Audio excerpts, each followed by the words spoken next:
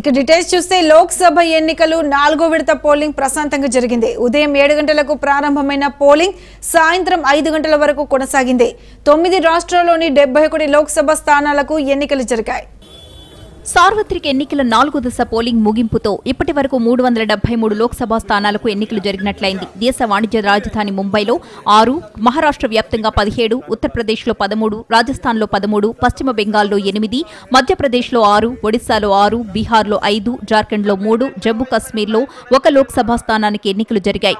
మే ఆరవ తేదీన జరిగే ఐదో విడత పోలింగ్లో యాభై ఒక్క లోక్సభ స్థానాలకు ఎన్నికలు జరగనున్నాయి.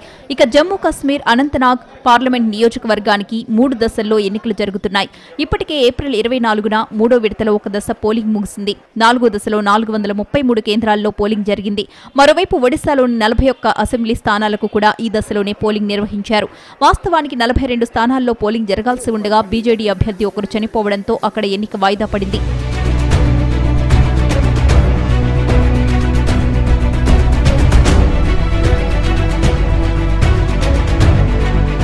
బాలీవుడ్ నటి ఊర్మిళా మతోండ్కర్ సంజయ్ దత్ సోదరి ప్రియాదత్ పూనం మహాజన్ మిలింద్ దేవ్రా సల్మాన్ ఖుర్షీద్ శతాబ్ది రాయ్ మున్మున్ సేన్ కేంద్ర మంత్రులు గిరిరాజ్ సింగ్ సుభాష్ భామ్రే ఎస్ఎస్ అహ్లువాలియా బాబుల్ సుప్రియో విద్యార్థి నేత కన్హయ్ కుమార్ మధ్యప్రదేశ్ సీఎం కమల్నాథ్ తనయుడు నకుల్ నాథ్ నాలుగో దశ బరిలో ఉన్నారు.